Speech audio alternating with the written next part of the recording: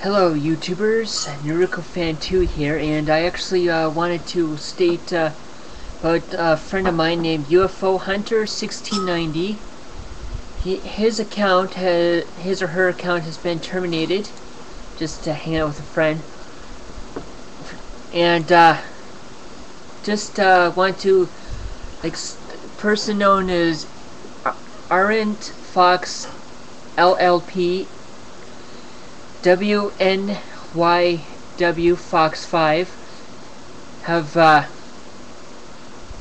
the reason uh, the my friend's uh, UFO 16 Hunter 1690 has been terminated is because he has exposed and shown proof of aliens and UFOs and that's the reason why the person was terminated because the government doesn't want people to know the truth.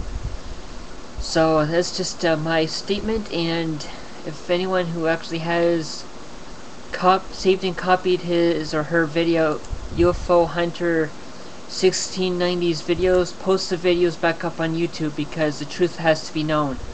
People do have the right to know that they're not alone in the universe.